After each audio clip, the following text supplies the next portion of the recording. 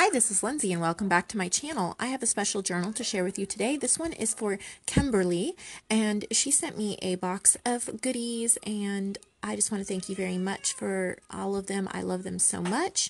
And here, if my gestures aren't matching my voice, I'm doing a voiceover because I needed to correct a couple of the things that um, I was saying that was misinformation. um, so, anyway, the cover is bright and cheery with these blues and greens and a couple splashes of pink and the co- cover photo, not photo, but image, it right there is from Kristie Art on Etsy. I love the cute little couple. It says A Glimpse of Heaven. That's a Tim Holtz sticker. And I just did some decorative stitching. It almost looks like a four leaf clover or some flowers. And then I just added some random pieces of trim and lace. There's a dark blue closure, and we can get on in the inside.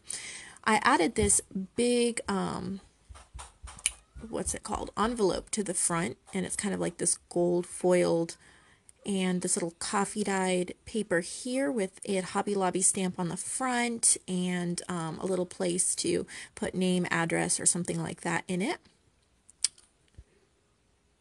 And that can just slip in and out. So over here you could put a photo or something on the first page. And it sometimes it's kind of hard to see with the camera, but this is coffee dyed sprayed, and you can see a little bit of a doily imprint um, in the back. There's a little bit of coffee and glimmer mist in there, so it is a really unique and pretty um, spray effect. On the other page, we have a big pocket and a little sticker that I got on sale at Hobby Lobby. I got two sheets for like 50 cents, but I love these flower stickers. And then there's just um, some different pieces of ephemera in here. There's a little flip with some really pretty stitching. I think this is a Tim Holtz paper. And this was from one of those smash books that Tuesday Morning was selling a while, a while ago. And then some little tickets that say Adore. And a vintage Rolodex card tuck. There's a Hobby Lobby stamp on there and some vintage um, game cards, Flinch and Rook.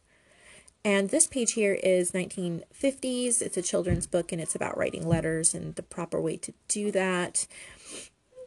I've put a whole bunch of little stamps throughout. Here's a big tuck spot. I have two little hearts punched out there. And then I made some journaling cards with some scrapbook paper, coffee dyed paper, and more of those flowers um, that I picked up at Hobby Lobby. And I did stitch around those as well. Coffee dyed ribbon, lots of pretty coffee dyeing and sprayed effects, and a little bit of washi there as well. Um, I'm loving this new stamp from Hobby Lobby, and there's a Tim Holtz sentiment there at the bottom. And there's some Digital Collage Club and Cool Mom uh, Book Boutique printables here. And the stamp up at the top says this music belongs to, and I got that at Hobby Lobby as well. Because there's music paper over here, I thought that was fitting more stamp or stickers from Hobby Lobby. And the journaling card here, I printed out a seed catalog cover from 1899 and backed it with copy dyed paper, made a little ribbon um, paper clip there and index card and that's also from Kristie Art. I just stamped on it. It coordinates with the image on the front.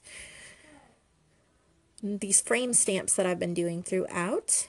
Some lace, pretty scrapbook paper, just my usual um, I love this little music paper. It's in a small little music book um, with Brahms music, and I just made a little sewn envelope with it. I put in two Dollar Tree tickets just to kind of show that you could put movie tickets or receipts or something in there to tuck away. This beautiful vintage print of a, a lady in the garden, and I backed it with some paper from Allure Book Crafts. I did an Etsy archaeology series on her. And here's a little Edith Holden print, and that's a tuck spot. And this is from Above Parr Crafts, and it's looks like it came from a library. I love how it has some perforations, and it would be really, really neat to journal on. On the other side, I flipped it over, added an extra paper clip because you can never have too many of those. And here's a little collage and um, of some fabric and trim and stitching some Project Life cards that I inked up and stamped. This is from Calico Collage. It's from her Fairy Garden book. Um, it says, Today is a perfect day to find your dreams, or something like that.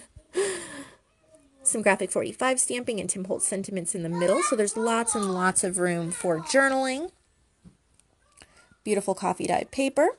This is Vintage Suitcases. It's a scrapbook paper pad, and I turned it into a bookmark, added a little bit of lace on the top, clipped it on with a teeny tiny little paper clip.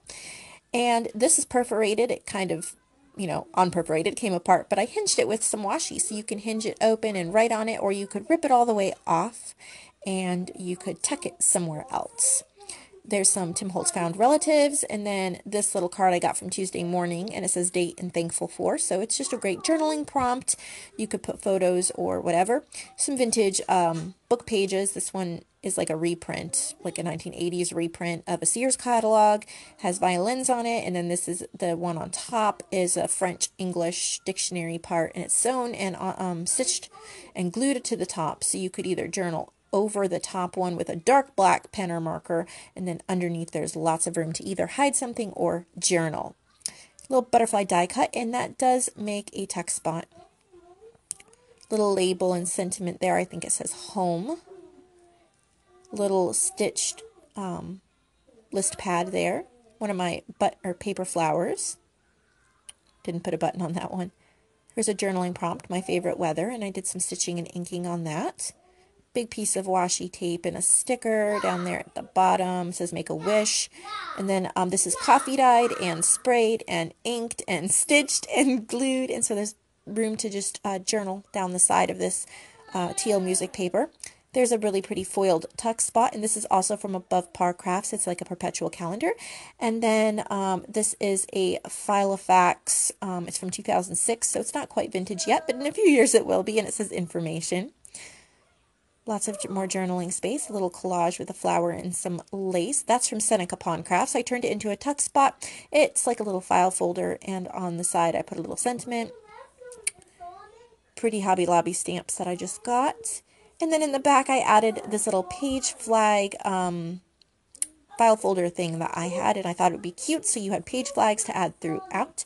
And there's my stamp and the end. So I hope that you have enjoyed this journal and um, I really enjoyed making it. I think it came together really well. And as always, have a wonderful crafty day.